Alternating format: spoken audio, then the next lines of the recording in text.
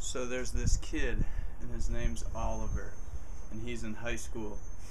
And Oliver's hanging out with all his friends one night. They're partying in the park, having a good time. And his friends are like, You want to play Truth or Dare? And Oliver's like, Yeah, I want to play Truth or Dare. I'm not scared of anything. And they're like, His friends look to the, each other, like, Does Oliver know about the cave? And he's like, What cave are you talking about? They're like, The legend has it that the cave underneath these trees in the park, there's an old man that lives in there. And he hasn't come out in seven years, but people once in a while go and visit him. And Oliver's like, Are you serious? And they're like, Yeah, dude, we dare you to go and, and meet that guy. And he's like, There's no way, uh, there's a, I don't even think a cave exists in this park. And they're like, Yeah, we, our friend Johnny went back there two years ago and the dude was in there. And so Oliver's like, Well, there's no way I'm going in there. And they're like, All right, we'll give you 50 bucks if you go back there. So Oliver, they take him to the entrance of the cave deep through the woods. And they're like, "You got to go in there by yourself." And he's like, "Well, I'm I'm not scared of anything, so I guess I'm going to do it." And and the whole time he's just saying to himself what his dad always told him, which is the only thing to fear is fear itself. So he's walking through the cave, he's like crawling on his knees. He's like, the only thing to fear is fear itself. The only thing to fear is fear itself. And he keeps going back. He comes to this crevice where he has to like go sideways and he's like his heart is pounding. He's like, "Oh my god, is there really going to be a dude back here that's like 90 years old?" And finally he shimmies through the crevice and deep in the distance he sees a little candle and he's like, "Oh my god, there is a dude back here." And he's like, "The only thing to fear is fear itself." He keeps going back and then he just sees this old guy with huge, long, bushy white hair, and he's just sitting there. And at first, Oliver's heart is beating, but then when he gets closer to the dude, he just feels incredibly calm. And this guy's just sitting there, like, "Hello, Oliver," and and he just Oliver just like completely relaxes. He's like, "How'd you know my name?" And the guy's like, "I know everything." And so this old man's just sitting there with his massive white beard and he throws Oliver an onion. And Oliver catches the onion and he's like, Why are you giving me an onion? And he's like, That's what you are, Oliver. You're a big onion. And Oliver's like, What the hell are you talking about? And why do you live in a cave? And the old guy's like, I'm here to teach you about the onion. And Oliver just picks it up and starts staring at it and he's like looking back like is this really happening?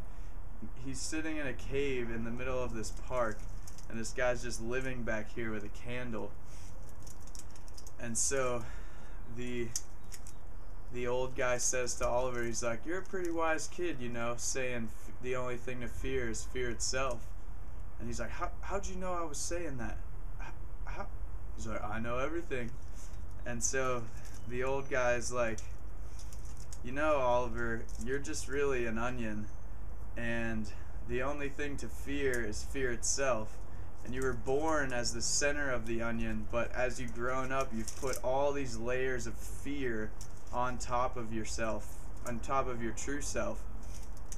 And he's like, start peeling back the layers of the onion. And Oliver starts to peel back the first layer, and he feels this horrible pain in his back. He's like, what, what are you doing to me? And he's like, every time you peel back a layer of the onion, it's it's a challenge. But every every time you peel it back, you get closer to your true self, your unique self. And Oliver's like, "What what are you trying to say to me? Like what's going on?" And he's like, "Oliver, do you know what fear stands for?" And he's like, "What do you mean? It's just a word."